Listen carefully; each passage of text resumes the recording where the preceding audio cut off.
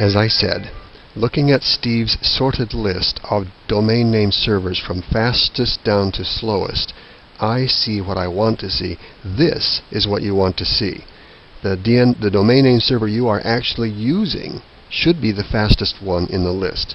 In my case, I happen to know that I'm always using my own router for domain name services. Its IP address is 192.168.10.1 and it has sorted to the top of the list. Now my router is not a powerful domain name server. All it is doing is it is relaying domain name requests and answers out to other servers that it knows about. When I talk to my router, I find it is programmed to use other domain name servers that I knew of and configured. Uh, they're good, fast ones.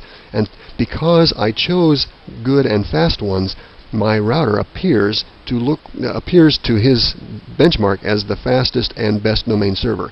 This is what you want to see.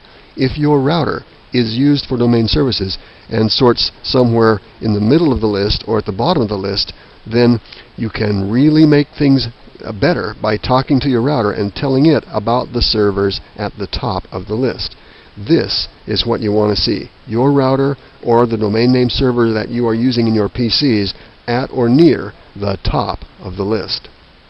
Now there are various ways to look at this sorted list. We've already talked about this button that says Show Uncached. By clicking this button I can alternate the view so that when I'm seeing only the cached queries, the view is uh, more sensitive to time and I can more accurately see the small differences in the most important queries. These are the cached queries. What that means is that most of the queries for domain names are going to be uh, popular queries that are probably already known to the server. Because it's a known uh, query, the server should respond faster.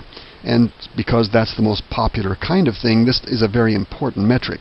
So by seeing just the cached queries, we can carefully sort them and see how how close and similar many of these guys are, and we can avoid the ones that take a long time to respond with a cached query.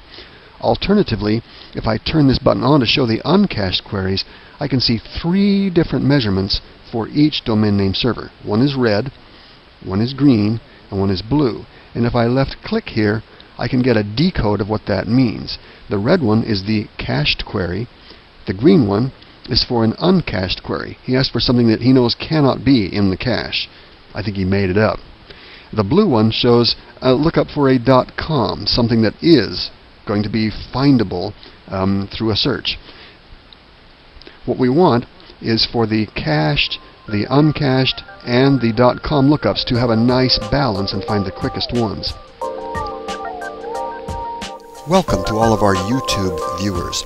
If you are using YouTube to watch these clips, it can be difficult to find the next one in the proper sequence. Please come visit us at AskMisterWizard.com, where we have the online technology magazine organized to make it really easy to find these in context, along with related text, images, and discussions.